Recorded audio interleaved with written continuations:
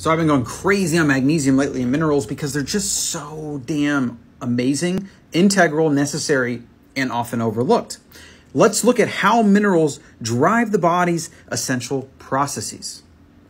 You can see they are necessary for virtually all bodily processes, starting from energy production and ending with hormone balance. Chronic deficiencies in these nutrients will eventually lead to disease and suboptimal well-being because there isn't enough resources to carry out the essential functions of health.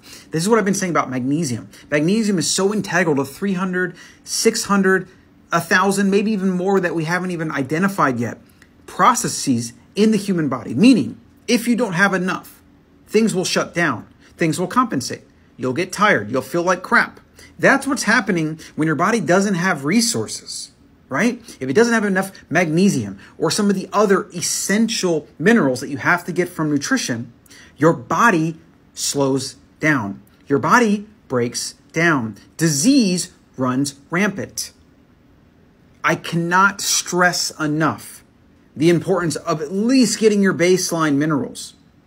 And in our food environment today, where most food is made in a big corporation from monocropped crap and then given to you, a lot of times fortified with other vitamins and minerals, a lot of them synthetic, because the food is so depleted in nutrition that it's almost like they almost feel guilty not putting it in there. And there is some regulation around like adding certain things to certain things. But again, it's like if we were eating whole real foods from local, small farm raised, you know, regenerative ag stuff, we wouldn't have to do this. We wouldn't have to literally add vitamins and minerals to this fake processed food to try to help people not be so mineral deficient. Yet they still are. Supplement with your minerals. Oxymag liquid magnesium, electrolytes, fulvic acid, amazing for the gut. Because the foods you're eating simply don't, they don't have it. They're gone. And even when they add them in with their synthetic crap, it's like, how much of that are you absorbing? Is that natural? No, obviously not.